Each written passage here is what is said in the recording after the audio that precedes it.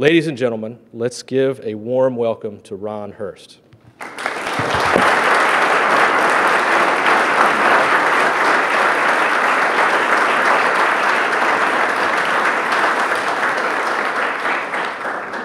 Thank you, Carter, and, uh, and everyone. I'm so pleased to be in Charleston. I never miss an opportunity to come to the Holy City. It's one of those very special places, whether you're interested in historic architecture or not. A grand place to be. Now, most modern impressions of the early South center on white columned plantation houses and rustic log cabins.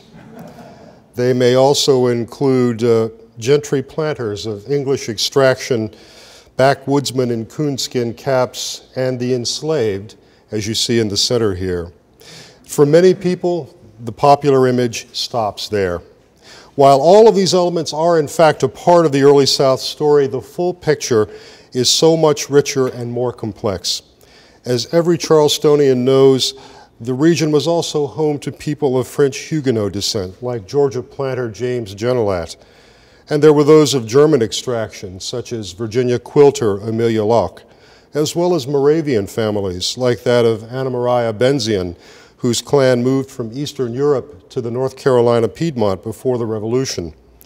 There were Scottish Presbyterians, like the Reverend William Hume of Tennessee, and there was a large Jewish community represented by men like Dr. John de Siqueira of Williamsburg, Miss Bremy Jones of Beaufort, South Carolina, and other enslaved people accounted for a huge part of the population, and there were many more Native Americans than we know about, men like Tomochichi, chief of the Yamacraw in coastal Georgia. And that's just the tip of the iceberg.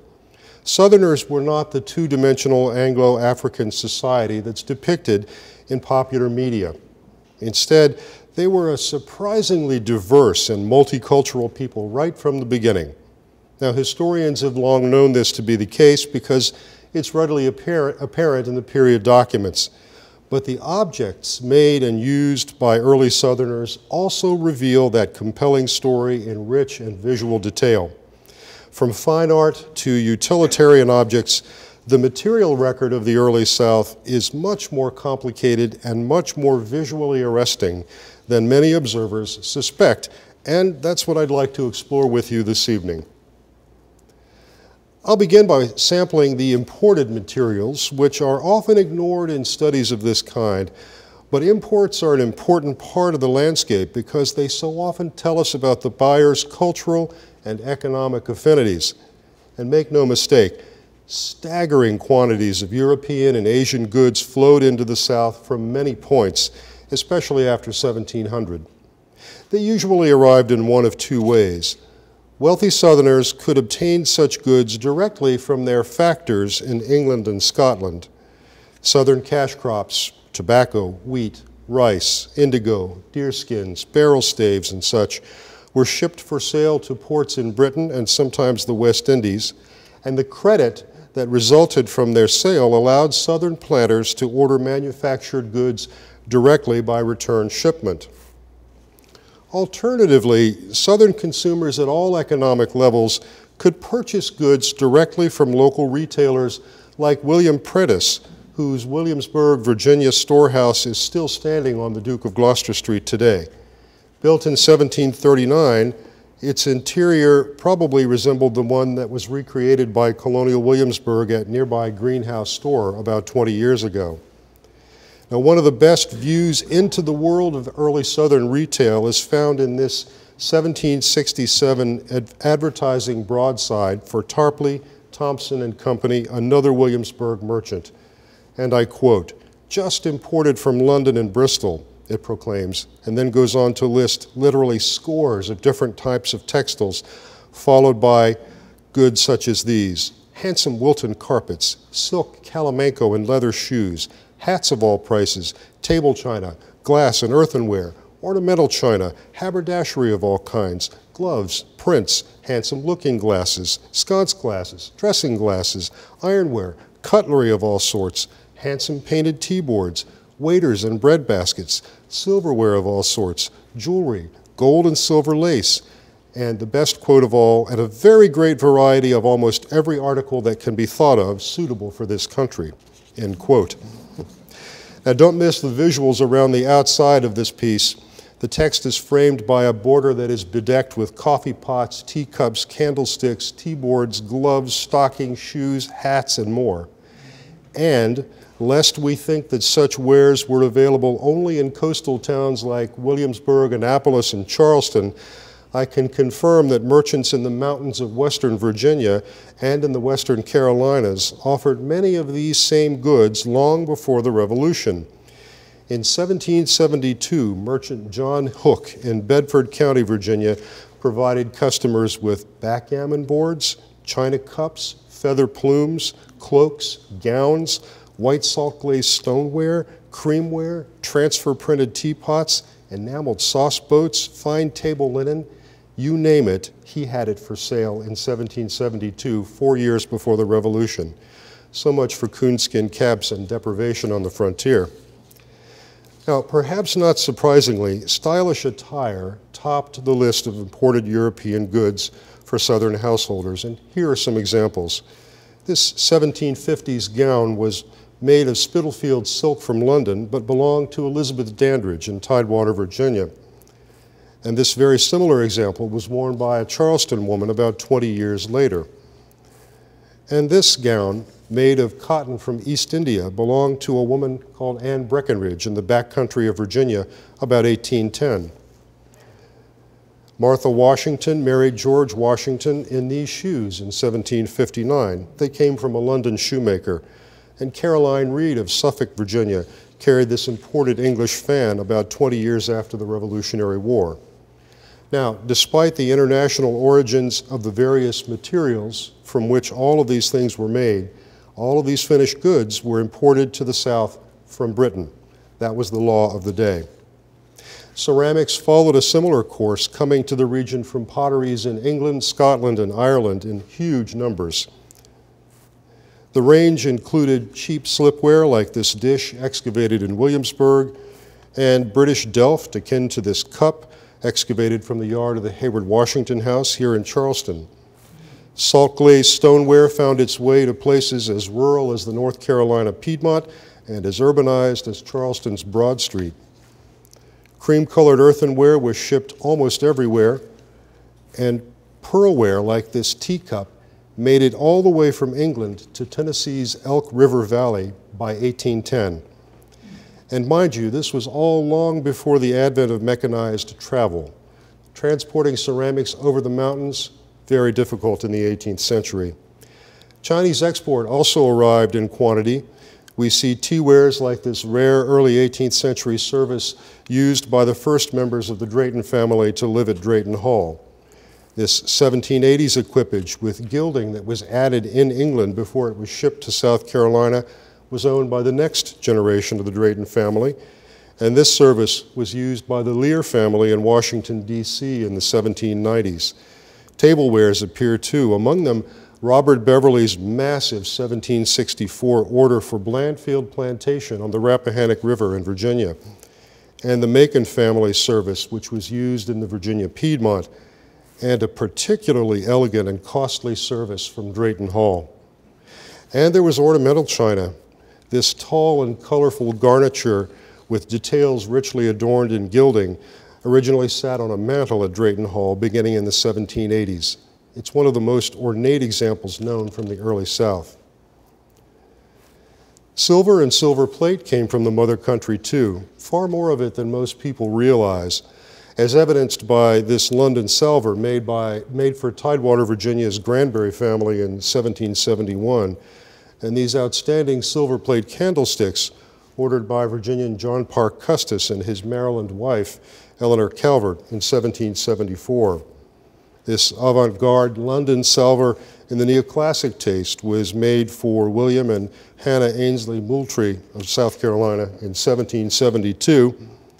And this large English cup, and it is about 15 inches tall, was fashioned to commemorate a horse race run in Chowan County, North Carolina in 1754. Can you see the engraved horse and jockey on the front? English silver was pouring into the South in vast amounts. Perhaps the least well understood of the British imports to the South is furniture. But diligent research over the last decade has turned up a wealth of well documented pieces, and we're beginning to see a pattern. Most of these goods were of a straightforward design, often termed the neat and plain style by 18th century consumers, like this clock made in Glasgow, Scotland, and used by the last Royal Governor of Virginia at the Palace in Williamsburg, or this English sideboard table with its Italian marble top which was owned by the Sothoron family in southern Maryland at their plantation called the Plains. Southern consumers, when ordering such pieces from Britain, often used terms such as good and well made of their kind. They were looking for quality, but not usually ornament, except in some cases. These are the exceptions, perhaps none as remarkable for its expense and its elegance as this English desk and bookcase made for John Drayton and used by him at Drayton Hall. This object has all the available additions, from purely ornamental carving to exotic African veneer woods, right down to fire gilt Rococo hardware on the drawers. Drayton was making a statement about his position and taste, even with his imported furniture. In short, early Southerners imported everything from fine art to furniture to architectural stonework to wall coverings, and virtually all of it came from or through Great Britain, regardless of origin. Obviously, such goods were outward symbols of the owner's wealth, but they also revealed cultural empathies. The original users of these things sought to follow the latest British fashions by acquiring goods that were trendy in the mother country. Now, as I said earlier, looking at imports is instructive, but the clearest hallmarks of Southern cultural affinities are seen in the goods actually made by early Southerners. As in any society, artists and artisans produce objects that echo their own backgrounds and often those of their customers. Not surprisingly, the dominant English presence observed with imported goods is also seen in much of the furniture, silver, painted goods, and other things that were produced, especially in the coastal plain of the early South. Let's look at a few examples of those. The earliest southern ceramic production was limited to the coastal plain. Utilitarian vessels akin to these were fashioned in very small quantities at a number of 17th century sites in the Chesapeake, and most were directly modeled on contemporary English forms. That's true of this chamber pot and colander, both made in the 1620s and found at Wolstenholme Town in James City County, Virginia. Similarly, this bird nesting bottle, made at the Rogers Pottery in Yorktown, Virginia, about a century later, looks exactly like its English counterparts. This sugar dish and teapot of the 1770s, excavated here in Charleston, they are almost certainly English imports, but there's also a very slight chance that they were made by English potter John Bartlam, who established a pottery here in Charleston in 1765 and made goods akin to these. And that's the point, of course. If they are Charleston made, you can scarcely detect the difference between them and English examples, and that's what Low Country patrons wanted. Now, English influence is also strong in several other media. This likeness of Frances Parke Custis was painted near Williamsburg in 1722 by the Jaquelin Brodnax limner, and although the artist's name is not known to us, his technique is unmistakably English. Depicted here in her teens, young Fanny's loosely arranged attire is likely based on engraved images of English noblewomen rather than something that this teenage girl actually wore. In furniture, Consider this well known Charleston Library bookcase from the 1770s. The maker very obviously lifted the design right out of Thomas Chippendale's Gentleman and Cabinet Maker's Director, the premier English pattern book of the day. And English influence is even deeply reaching into the backcountry at an early date, as evidenced by this tall case clock from Frankfort, Kentucky. The case was made about 1800 by William Lowry, whose molding profiles and overall composition directly pattern themselves on English norms. Even the floral inlay on the pediment appears to be a British import. And note that virtually identical floral inlays were used by Lowry's contemporaries here in Charleston, also imported from Britain. Now, we could make the same observations about English influence with regard to silver and needlework and architectural details, but the pattern's very well established. So let's move on to look at other less apparent cultural influences in the early South. And England is not the only source of British influence that we find in the region. Irish artisans left their stamp as well. Although fabricated on the shores of Virginia's Rappahannock River in the mid 18th century, a number of pieces of furniture, including these two tea tables, exhibit all the hallmarks of contemporary Irish furniture. Those springy cabriole legs, the pointed feet, the heavily shaped rails, they're all identical to furniture made in Dublin and Limerick and Shannon. At least two still unidentified Irish artisans settled near one of the small towns on the Rappahannock River and simply continued to make furniture just as they'd learned to do it in Ireland. The only, only the objects' Virginia associations and their execution in North American cabinet woods reveal their true origin. Now, how do we account for this phenomenon? There was enormous growth in the Chesapeake in wheat production during the third quarter of the 18th century, and surprisingly, more than half the annual tonnage was shipped not to England, but to Ireland. That coincided with a resurgence of indentured servitude in the Chesapeake, and most of those newly arriving indentured servants were Irish immigrants.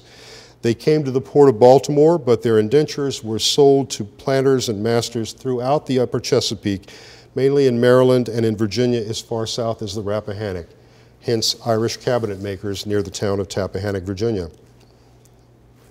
The Welsh were here too. And although physical evidence of their presence is more difficult to find, it is here nonetheless. By way of example, look at this hearth chair made in Anne Arundel County, Maryland, near Annapolis.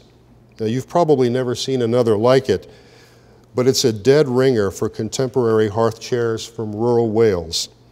These seats were used throughout the 18th century in Welsh farm kitchens to facilitate cooking and other hearth-oriented work.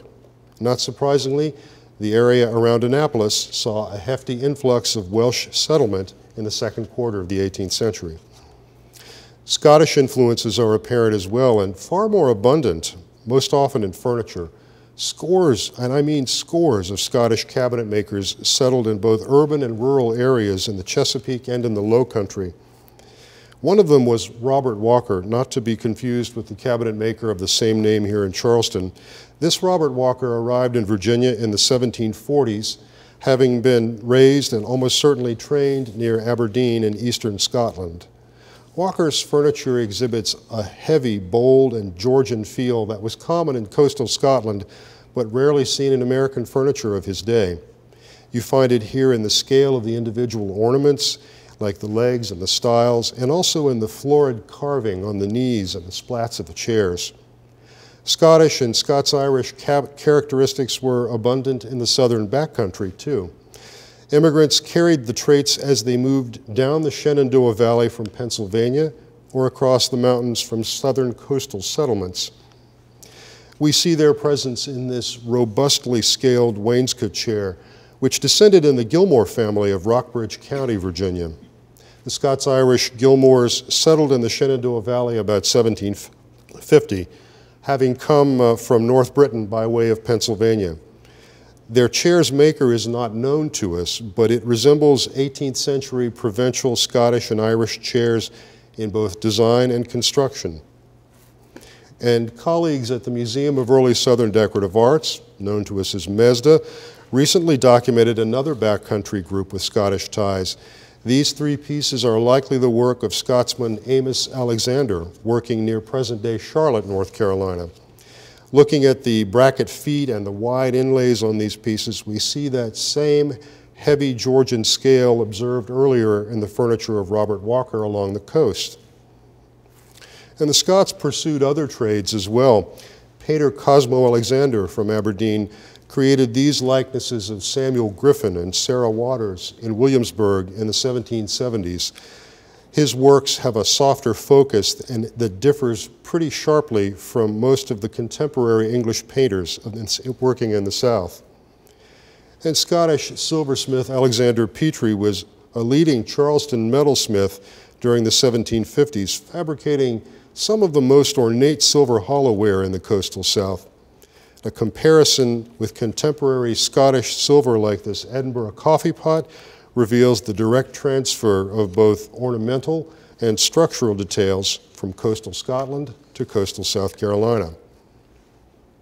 Now, looking next at continental Europe, we find that transplanted German cultures also thrived in the South. As Tom Savage demonstrated a number of years ago, the German cabinet maker Martin Pfeninger worked in Charleston during the 1770s and early 80s and produced particularly handsome and sophisticated goods strongly grounded in his German aesthetic training. You see evidence of that in the robust Baroque shaping of the pediment on this bookcase and the shapely top on the chest of drawers from the same shop. But it's even more apparent in the marquetry decorating the bookcase and in the inlays on the feet of the chest. Indeed, it would be difficult to find another piece of pre-revolutionary American-made furniture that matches the quality and erudition of this bookcase that you can see today, of course, at the Heyward Washington House. Now, German traditions were even more pronounced and more tenacious in the backcountry where some communities spoke German exclusively as late as the 1840s. Artisans in these areas made distinctive and sometimes old-fashioned goods like this tall clock from Shenandoah County, Virginia. Its rare swelled or bombé base, together with the arched hood, the cluster of five finials on top, and the case door with a round window are all typical of Dutch and German Baroque aesthetics from the middle of the 18th century. But the Virginia case was made about 1800 when most of these details were long out of fashion in Europe.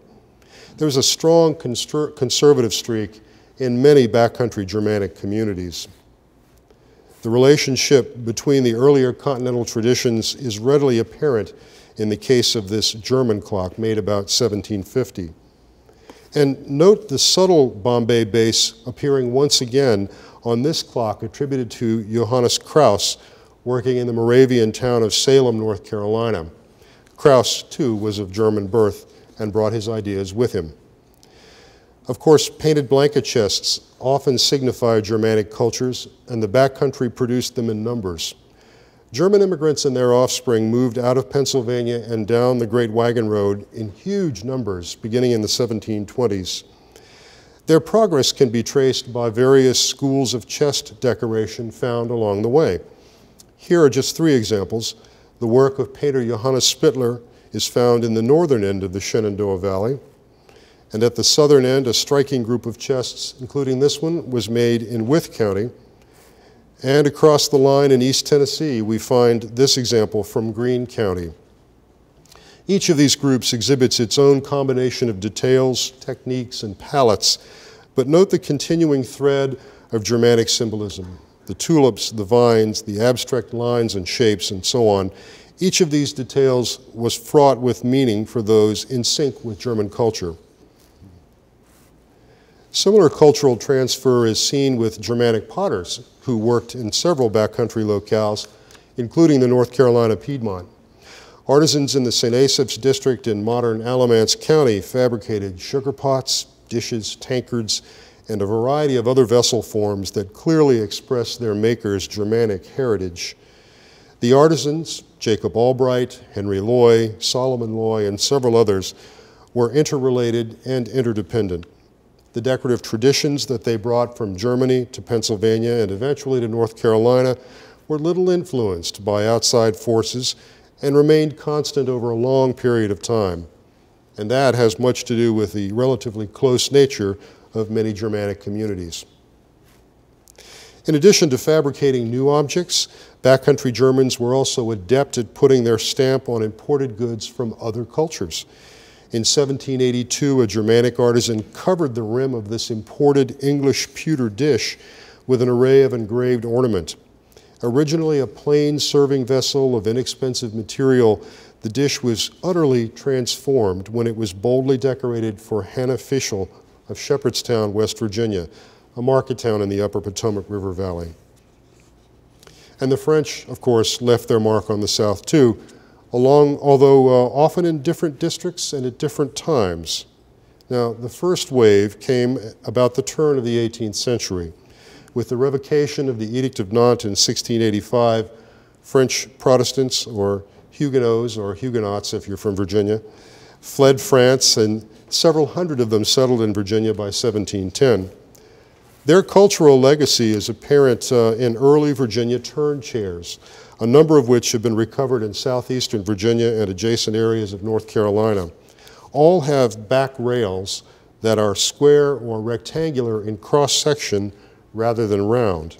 Now, this technique was unknown in British chairmaking circles until the 19th century, but it was common on French chairs and other turned furniture forms beginning in the 17th century. The Huguenots also played a, a, very significant role here in the Low Country. And there again, we find a few chairs with construction details and other elements that are quite different from those encountered on contemporary British turned and joined chairs. This one was found here in coastal South Carolina in the late 1920s. In addition to its square rather than turned structural elements, the chair features an open back frame that was designed to be used with a tied-on back cushion another French detail that we almost never see in Britain before the 19th century. And from the Georgia Piedmont, consider this chair, one of a very large group springing from a highly focused chair-making tradition. As Dale Couch has shown, with their arched and spurred back slats and very crisp turnings, these chairs closely resemble contemporary examples from continental Europe. This one is among the earliest versions of the pattern and it was one that was widely produced in the Georgia Piedmont from the 1780s through the early 20th century. And the design, so unlike that on most early American ladderback chairs, probably owes its presence in Georgia to the establishment of French and German settlements along the South Carolina side of the Savannah River during the 18th century. Over time, these cultures moved southwest into the Georgia Piedmont and simply took their craft traditions with them. A similar pattern appears in early Louisiana chairs. Like the Georgia examples, they feature arched and spurred slats in the French tradition, but they also differ from American and British chairs in other ways. The Georgia chairs are made of hickory and similar woods that were intended to be painted. The Louisiana versions are almost always made of red mulberry or black walnut and were stained and finished like more formal furniture, very much in the French fashion. Also in the French mode is the presence of curved side seat rails on these chairs. American and British ladderbacks have straight seat rails. The curved versions, typically French, provide a more generous seating area. No commentary there. You know, of course, that Louisiana was a part of that territory that traded back and forth between France and Spain several times, hence the fully developed French culture that survives there in many ways to this day. The strength of French traditions was not dampened even with the transfer of the territory to the United States with the Louisiana Purchase. And while on the subject of Louisiana, I think there are few better examples of French influence in the South than this New Orleans armoire. While the populace of other American and cities stored textiles in chests of drawers, double chests, and clothes presses, inhabitants of the lower Mississippi Valley preferred the French armoire. Like the just described chairs, this concept first arrived in Louisiana when armoires were imported directly from France by French immigrants. Migrating French and French Caribbean cabinet makers later produced Creole versions of the form in New Orleans and other lower Mississippi centers. Louisiana armoires follow the French form with large double doors, a band of interior drawers, those short square section cabrio legs, and foot-long brass hinges. In the early 19th century, with the integration of non-French artisans into New Orleans, some cabinet makers began to decorate their French wares with Anglo decoration. That trend uh, is seen here, for example, because the case, though French in form, is completely covered with Anglo-American inlaid designs. This object and others like it illustrate the melding of French storage forms with Anglo-American aesthetics. Now, bearing in mind the shape of those French legs we were just looking at, we'll move up the Mississippi River to the Ohio and up the Ohio into Mason County in northeastern Kentucky, where we find the very same legs on local case furniture. A variety of influences shaped Mason County cabinet wares. Settlers from Northern Virginia, Maryland, and Pennsylvania brought mid Atlantic craft traditions to that area when they migrated down the Ohio from Pittsburgh. But at the same time, boats filled with Kentucky produce were traveling down the Ohio and down the Mississippi to the Gulf Coast and then returning from New Orleans with goods and new ideas. These outstanding objects illustrate the disparate forces at work even in the backcountry. The canted corners and the inlays on the chest to the left relate to very similar examples from the mid Atlantic coast and probably came to Kentucky with a family of cabinet makers from Prince William County, Virginia but those short, squared cabriole legs on both of these chests are quite clearly French. The idea almost certainly came to northeastern Kentucky by way of the river trade with French controlled New Orleans. And before leaving the subject of French influence, let's look briefly at painting. French immigration to America's Atlantic coast slowed to a trickle during the last decades of the colonial period, but that changed after the Revolution. With the French as our wartime allies against the British, the post-war period in the new United States saw a modest influx of French artists and artisans. Among them was one Monsieur Boucher, even his first name isn't known, but his portraits in Maryland and Washington, D.C. are very, very French in style and execution. You see here the Murray sisters of Annapolis on the left, and Washington's Anne Ogle Tayloe and her daughters on the right. Now, so far we've looked mainly at nationalistic groups, but religious communities also left clear physical evidence of their presence in the objects that they made. Among the most fascinating in my mind are the so-called Salzburgers, a group of Protestant Christians who were expelled from modern-day Austria by the Catholic Church, the Archdiocese of Salzburg. Seeking a home that would allow them to worship in their own way, many Salzburgers fled to other European countries, but one group landed in the new colony of Georgia in 1734, having negotiated for land with the colony's founder, James Oglethorpe. The Salzburgers planted a town called Ebenezer. Two years later, they moved to a more desirable site on the bluffs of the Savannah River. New Ebenezer, as the community was called, was essentially an Anglo, uh, an Austro-German village in Georgia. Their language, their worship, and all of their craft traditions were strictly German, and they naturally continued to make German goods like this table. With its Baroque turnings and its splayed legs and its removable top, this table could easily be mistaken for a piece of continental woodworking was it not for the fact that the table is made entirely of North American woods and was owned by a Salzburger family in New Ebenezer. Members of the Society of Friends, or Quakers, also moved and resided in groups. As with the Salzburgers, that facilitated the movement of traditions from one place to another intact. A group of interrelated Quaker families from the Delaware Valley in Pennsylvania moved to the North Carolina Piedmont in the 1750s, landing in Guilford, Rad, uh, Rad, Randolph, and Chatham counties. There they continued to make the very same kinds of goods that they'd fabricated in their prior homes. This striking dish dresser is a case in point. Found in adjacent Alamance County about 75 years ago, it's part of a tightly structured Piedmont Carolina group identified by June Lucas of Mesda in recent years. Jesse Needham, also of Quaker extraction, made this high chest in northern Randolph County. And like the dresser, it has a very strong Pennsylvania Quaker accent. And potter William Dennis, or his son Thomas, made this earthenware dish.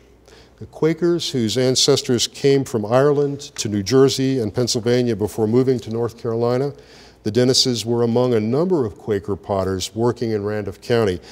In general, Quaker craftsmen trained their own children or apprenticed them to members of their own faith and that kept all of these craft traditions compact and intact for long periods of time.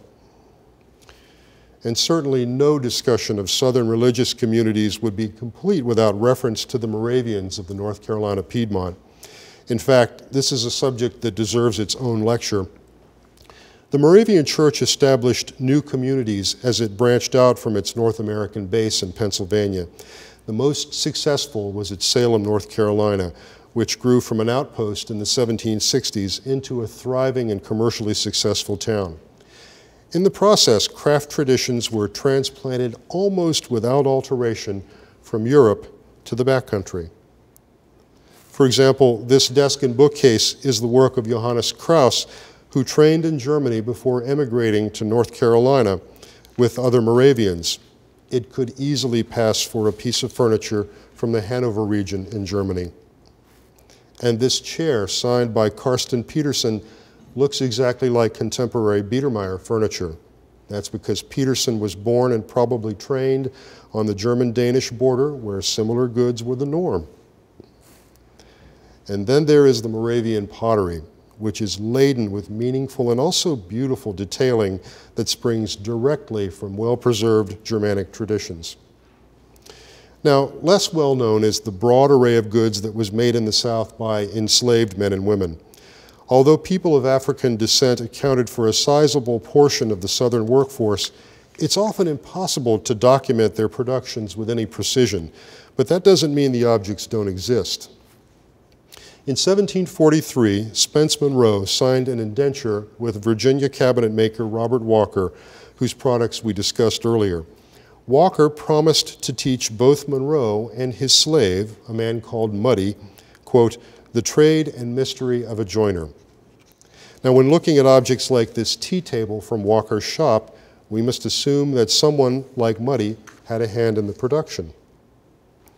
The same is true of goods from the shop of Charleston silversmith Alexander Petrie. When Petrie died in 1768, his estate included an enslaved silversmith called Abraham, who was then sold to another Charleston silversmith. So again, when looking at objects like this salver bearing Petrie's mark, we should assume that an enslaved hand like that of Abraham had something to do with its production somewhere along the way. There are thousands of similar examples of enslaved artisans working throughout the South. Fortunately, there are also a few better documented instances of the work of African Americans one is an armchair made in the joinery at Thomas Jefferson's Monticello in the Virginia Piedmont, under the direction of John Hemings, an enslaved woodworker. The chair is clearly based on seating furniture that Jefferson himself saw and recorded during his travels to France, but it was made in Albemarle County, Virginia, and likely by African hands. And we have a high degree of confidence that this stoneware storage jar was made by David Jarbor, a formerly enslaved potter working for Hugh Smith in Alexandria, Virginia in the 1820s. Jarbor saved up enough money to buy his own freedom and eventually that of his wife. And it can be useful to consider images like this one by John Rose of South Carolina. Here, Rose depicts enslaved men and women on his plantation enjoying a period of free time. They're performing a West African stick dance to music provided by several African musical instruments, including a banjar, which is the ancestor of the banjo, and a percussion instrument called a shigura, which is a gourd filled with seeds and encased in a long net that looks like a scarf.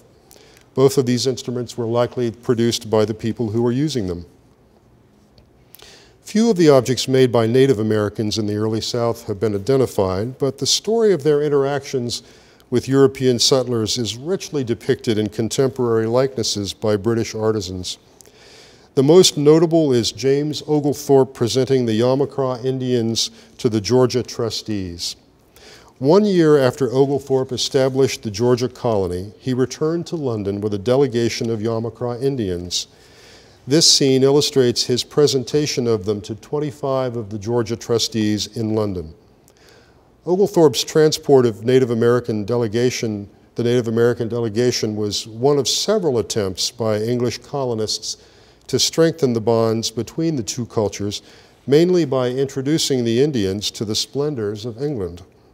English newspaper reports of the day recorded the Yamacraws' activities on a daily basis, often noting that they were, quote, naked except at the waist. Chief Tomochichi is pictured here at, uh, with his left, at the left with his hand extended. The single Indian woman is portrayed in English dress to provide a more modest covering. She is Tomochichi's wife, Sinachi, and the pink gown reportedly came back with her to Georgia and was worn on special occasions for years afterwards. 28 years after the Yamacraws traveled to London, a Cherokee delegation was escorted by Henry Timber Timberlake to the English capital. One of the three natives was Chief Cunne Shote. In this engraving, the subject's combination of European and native art attire was meant to suggest harmony between the cultures. Those round medals Cunne Shote wore at his neck date to 1761 and commemorate the marriage of King George III and Charlotte of Mecklenburg, and that crescent-shaped silver gorget at his chest is engraved with the initials GR3 for King George III. And yet the most striking aspect of the portrait is Cunne Shote's grip on a scalping knife, a visual reminder of the tenuous relationship between the Cherokee and the colonists living in the South. Now, later in the early 19th century, efforts to fold Southern Indians into the mainstream society produced objects like this distinctly non-Indian sampler. It is inscribed, quote, wrought by Christine Baker, Choctaw Mission School, Mayhew, June 9, 1830. The Society of Foreign Missions established schools in the rural South for the education and, quote, civilization of Native American children in the early 19th century. One was set up for the Choctaw in 1821 at Mayhew, Mississippi. Parents were to leave their children at the boarding school where they were to be taught to read, to write, and to practice a trade. Young Christine Baker was 13 years old when she made her American style sampler at the Choctaw Mission School and had been there for two years. Like all the pupils, she had been required to relinquish her Indian name upon taking up residency in the school. She was apparently named for a donor from Boston. Now, the passage of time and the dispersal of ethnic groups in the South brought many changes to the region, some visible in images of the land. The early 18th century English compulsion to control the landscape by rigorously surveying the terrain is perhaps best illustrated here in a view of Savannah as it stood on the 29th of March, 1734. Therein, the town, as laid out by Oglethorpe, reflects his military background and egalitarian approach. The extreme contrast between the limitless bounds of the frontier stretching to the horizon and the regimented layout of the town itself illustrates England's desire to impose order on nature. George Beck's 1805 depiction of Boone's Knoll on the Kentucky River stands in sharp contrast to this approach almost a century later. As Southerners and other Americans strove to differentiate themselves from the mother country in the early 19th century, they embraced the ruggedness of the frontier. Englishman Beck painted a view of the Kentucky River that romanticized the beauty of America's wild open spaces. In similar fashion, while earlier generations of artisans in the South firmly tied their products to specific British and European cultural roots, that pattern receded as the population moved west and southwest in the late 18th and early 19th centuries. Backcountry products gradually took on a look that was more American and less European. Aspects of the American fancy movement appeared in visually compelling objects like this painted chest from Greene County, Georgia.